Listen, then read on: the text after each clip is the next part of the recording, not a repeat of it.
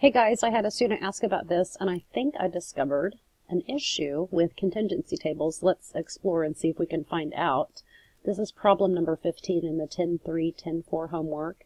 It looks at the association between the age you are and whether you're being hospitalized for swine flu. Because some of the expected values are less than 5, we're going to combine some groups. So let's just fill this out. So under 30, I've got 6, 27, 30 and over. I've got 10, 12.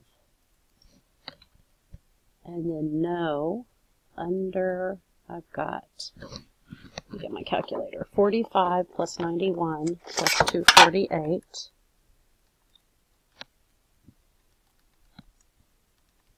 which gives me 484.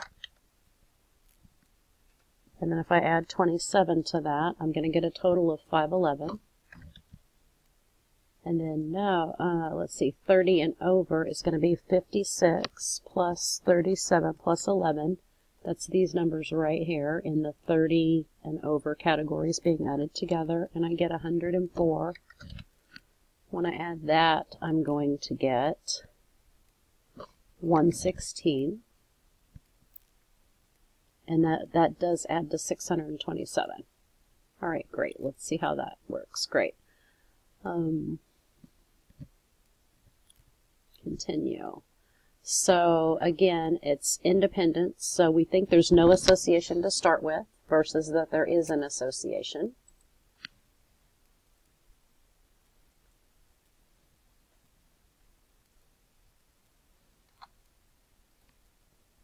Then ask for the chi-square test statistic. So I'm going to go to StatCrunch.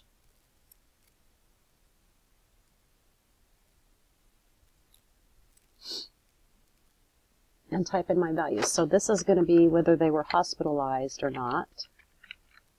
This is going to be under 30. This is going to be 30 and over. So this was yes, 27 and 12. This was no, 484, and 104. Then I'm going to go to my contingency table. I'm not going to type in my totals because the contingency table does that for me. So I'm going to go to Tables, Contingency with Summary. My columns that I'm interested in are the under and over 30. That's where my data is, so that's what I select. My row is hospital because my rows are yes hospital or no hospital. I'm going to go down here and chi-square test for independence is selected. I'm also going to pick expected count just because I like to see that. And I'm going to hit compute. So my chi-square value is 4.15.